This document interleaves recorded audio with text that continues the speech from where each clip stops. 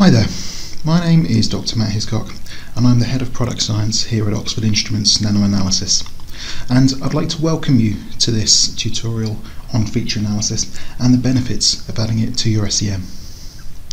Before we get started, just a little bit of housekeeping. The main point being, if you have any questions, please do enter them uh, in the question box down at the bottom right of the interface. Please do this at any time uh, and we'll address them at the end of the session. So, let's get started. But before we get into the real detail, I thought what I'd do is try and explain the motivation behind giving this tutorial to perhaps uh, put forward a few questions that we might try and answer.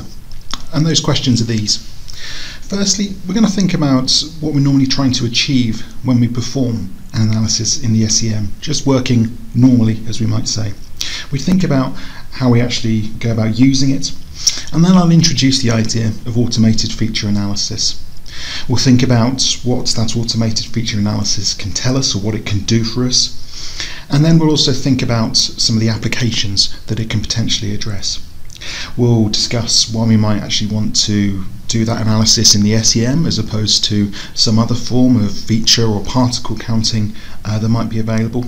And we'll also consider the implications of the hardware that we can use. Then we'll go on to um, a few minutes long uh, sort of live demonstration before some conclusions at the end. So with that, let's get going. So let's look at our first question, which is what are we trying to achieve when we perform an analysis in the SEM? Now, in preparing this, I sat down and I had a think about the kinds of jobs that we tend to do when we're working with an SEM, and for me, they fell into a series of, of different categories. Now, what I have here isn't necessarily exhaustive, but I think it covers a lot of the work that we do. We have a variety of different jobs. Sometimes it's uh, kind of quality control, perhaps determining if a sample deviates from expectations, be that in a positive or negative way. Sometimes it's about understanding how properties of many different kinds vary across a sample. Sometimes, and this is kind of related to the previous job, it's about understanding the relationship between what we see on a large macro scale to what we see down on a micro or nano scale. Sometimes it's about finding something rare but important. Now, once again, that could be something that's good, like perhaps a very valuable mineral that we might be trying to, to find, or it could be about trying to see if there are any particularly bad particles of a certain kind there. Or it could be about something to do with understanding a whole population, so understanding the relative different proportions of different parts of a sample. So with that in mind, let's first consider how we might normally go about using an SEM and performing analysis with it. So let's try and consider this with what I think could be a fairly basic job. Now in this case I've got a sample uh, that's made up of lots of different particles, they're mineral grains, but this could be equally applicable for all sorts of different um, sample types. And what I'm trying to achieve here is to find out if there's some sort of uh, relationship between the composition of the particles that I have here and the sizes of them. So I might start off by gathering an electron image, uh, having a look around. I might make some measurements um, of the different grains that are there. Uh, I might do some EDS um, compositional measurements and get uh, a spectrum just like the one you can see there um, acquired from the region that's kind of highlighted with a, um, a white uh, shape. Uh, and then I might go on to do something like um, acquiring some map data. So giving me a real understanding of the kind of spatial variation um, in composition uh, across my field of view. Now that works brilliantly and it's an exceptionally useful tool. Um, of course, I then make my own uh, interpretations um, based upon that data, and that's a kind of manual approach that I do, and that works excellently, especially for kind of initial investigations um, and occasional work. But if I wanted to tell something about the wider sample, then it's not going to be practical in terms of time um, and an effort for me to go and visit every single field of view that might make up an entire sample. Now this this sample is something like um, two and a half centimeters across, and the field of view that you see there is something just below one millimeter across. So it would take an awful lot of time for me to visit every single field of view um, manually. So this is why automation is needed for getting that larger scale understanding.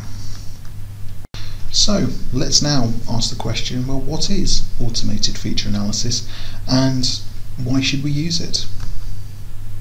So automated feature analysis is a process which automates many of the tasks which I just talked about a moment ago. It's a process that automates the identification of what we want to analyse, so something we would normally just do with our eyes to produce features. It automatically measures the morphological properties of those features. It automates the compositional measurement of those features with EDS, including all of the algorithms that go into ensuring that the results that we get are right, even when we're working at the highest of speeds. It also automates interpretation um, to an extent by involving classification schemes, so being able to group features by their composition and or their, their morphology, and it can do this over very large areas. Now, beauty of feature analysis is that because we are automatically identifying what to analyse and then we acquire one spectrum from each um, feature that we analyse, it's a very, very rapid approach for covering large areas. So that brings us on to the question of well, when would we use feature analysis? What sort of samples um, is it useful for? And to me, it really comes down to anything where you've got uh, a laterally variable um, sample within a field of view. So it could be something um, like uh, perhaps a section um, of a material, um, of a metal um, or a rock. Uh, it could be particles uh, on a simple substrate, so perhaps things like wear debris um, or gunshot residue particles or technical cleanliness particles on a stub. Or it could be particles on a relatively complex substrate, so things like um, airborne particles that have been collected onto a filter. So actually really quite a wide range of different sample types. And I'll show you exactly how we do all of this in the live demonstration towards the end of this presentation. So with that, let's actually have a look now at feature analysis in use in some specific applications. So our first example is all about the presence of particles in components used in automotive manufacture. Now these particles, perhaps they could be in the engine, could have a major effect on that engine's performance um, and its lifetime. So it's very important to minimise their presence during manufacture. And if they are present, then we need to know what particles are there, what size they are, um, and also be able to try and identify what their source is so that we can take corrective actions. So in this case we might use a specific recipe for the Aztec feature um, particle analysis platform called Aztec Clean which has a classification scheme which is completely tuned to the analysis of these types of samples.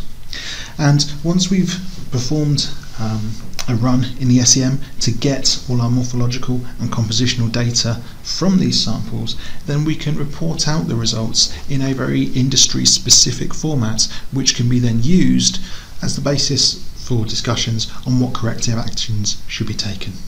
Our next example is all to do with the manufacture of steel. Now, non-metallic inclusions within steel are an inherent consequence of the steel making process, but their presence can cause problems in terms of the performance of the steel, particularly if there are too many of them or if they're too big.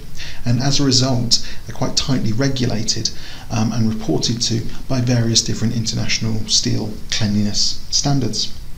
Now these inclusions can be down to a scale of a micron or smaller, so they really are something that do need to be studied in the SEM.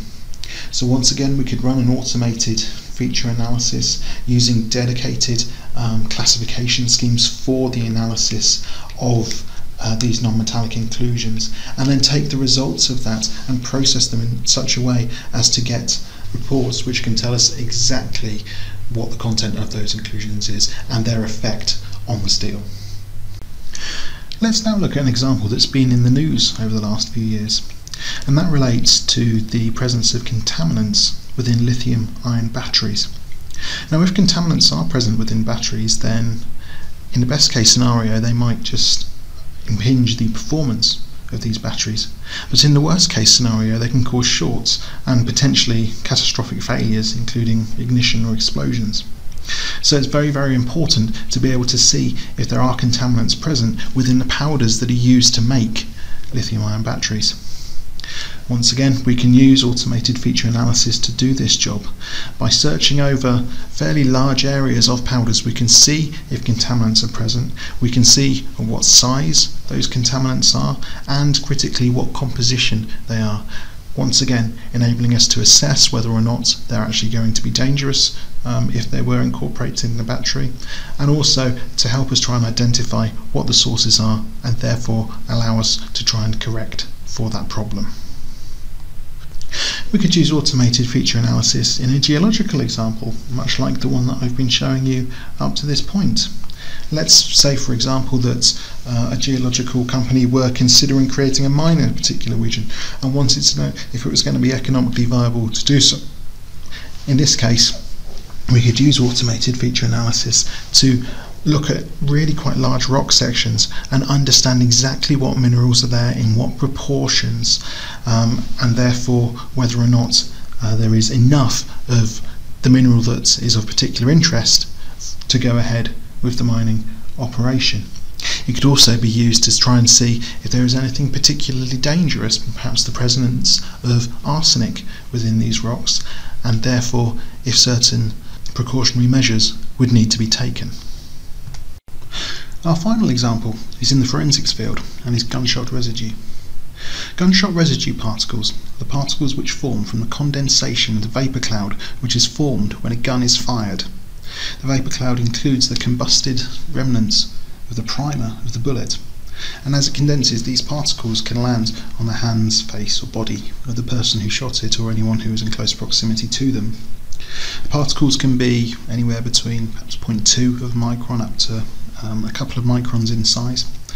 And if they're found on a person, they can be considered as characteristic of a gun having been fired and therefore a source of evidence. Now, owing to their size, they need to be found using the SEM, and their composition must also be within certain ranges for them to be considered as evidence. As such, this is one of those examples where we're really looking for rare particles, but we still need to do so at quite a high speed. So it's a perfect application for automated feature analysis. So that brings to an end our quick survey of different applications um, that automated feature analysis can be used for. But as you can see from this list, what I just showed you now is by no means exhaustive, and actually neither is this list. It covers a huge amount of different applications and there really is are many many different things you can do with automated feature analysis and that is why I would encourage everybody to have it available on their system ready to go so you can do the jobs that you need to do as soon as you need to do them. So one of the questions that then comes up is well why should we use feature analysis on the SEM as opposed to on some other form of particle counting um, approach? Well, analysis on the SEM and using energy dispersive X-ray spectroscopy, EDS, brings a number of different advantages. Firstly, it's non-destructive. This means that samples can be reanalyzed at any time particularly important in things like that forensic example I just showed where you may need to go to appeal or very important in things like technical cleanliness where you may need to go and acquire additional evidence um, from a sample if you're going to a supplier and saying hey we found this um, contamination present.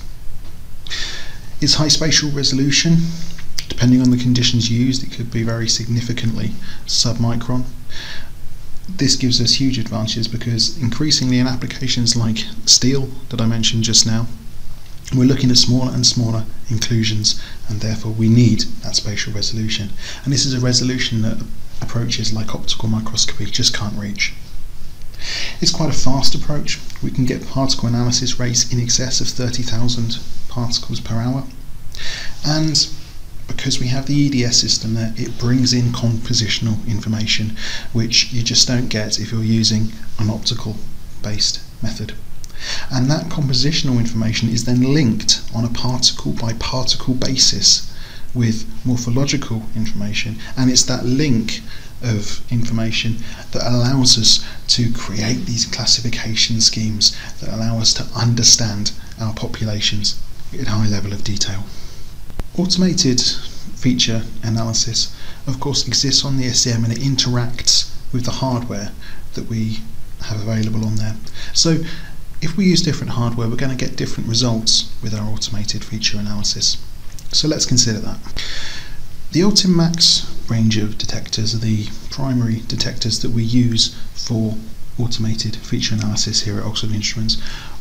Now these detectors have large sensor sizes com and combine with the X4 electronics boxes to give very high count rates. Now in a typical feature spectrum, we're normally looking for somewhere between 20 and 30,000 counts if we're simply looking to characterize the major elements that are there. And so by working at a very high count rate in the perhaps hundreds of thousands of X-rays per second, we can use shorter and shorter acquisition times in order to hit those count targets. That means that we have an increase in throughput. Alternatively, we can take a different approach and say, well, actually, let's keep the amount of time that we use to analyze a sample the same, but get far more data in the same amount of time. This therefore increases our statistical certainty, and particularly when elements are present in fairly minor concentrations, we can get an extra degree of sensitivity. And it's that combination of speed and sensitivity that makes these Ultim Max detectors ideal for use with Aztec feature and which provides the flexibility that the system is capable of. Having gone through all of that, let's now show you Aztec feature in action working live. So this video that I'm going to show you is something like four minutes long and it shows you the process of feature analysis. Now what you've just seen happen is a um, image um, acquired very rapidly in our software and you can see that the particles have been highlighted in this case in green and that's because we've been able to select them from the background using a series of grey level thresholds. Now I stored the thresholds here because this is a job that I do frequently and for every particle the morphology has already been recorded just after that single click. As we move over to the next step we can then go and test out our EDS acquisition across the sample. And what you're seeing here as the particles get coloured in is the live acquisition process in action.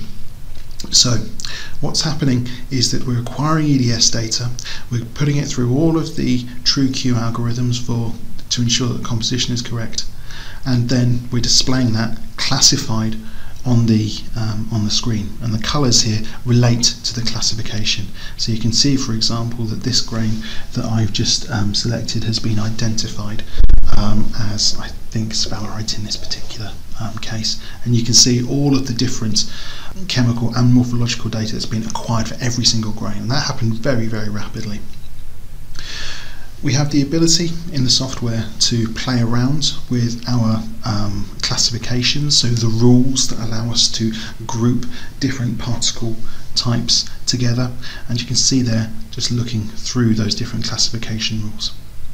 Now having done that, and you know, it was a really very very easy process, I can then go and decide to work with a large area. So to perform that process that I just did on a single field across a large area.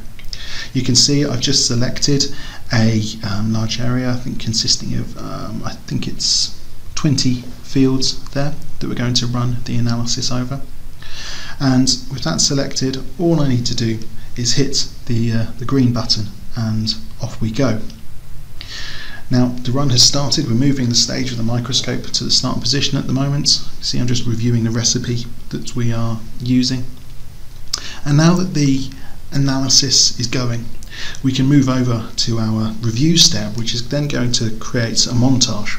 So you can see the acquisition progressing as it did a little bit earlier, with the particles getting coloured in as they're acquired, quantified, and classified. And as we do this classification process, I can bring in, uh, as you can see it right now, a list of all of the different classes and the total number of particles in each of those classes and that's kind of building up as the run progresses. So what we're doing now is I've just sped up the video a little bit to um, show you a complete area um, being run uh, and completing and you can see that you know, this could be running overnight over a weekend depending on the magnification we're working at and and what information we want to get from our samples but really giving us the ability to get a huge amount of data very easily now, one of the things that happens, of course, using this approach is that some particles get broken by the field boundaries, and you can see that as I as I zoom in.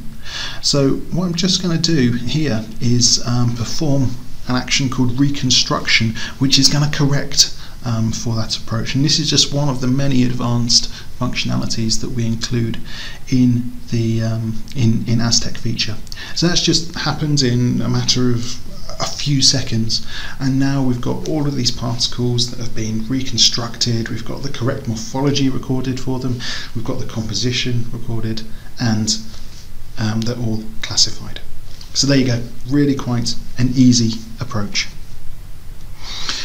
So with that unfortunately we're now running out of time so I'm going to go straight to the conclusions. So, hopefully, I've demonstrated over the last 20 minutes or so that there are a number of key advantages of automated feature analysis.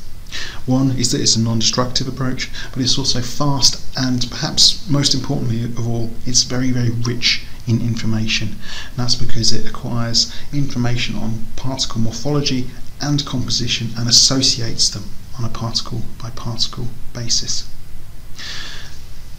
The software that I've just been showing you combines with the latest generation of EDS detectors and TruQ algorithms to bring both speed and accuracy to the process.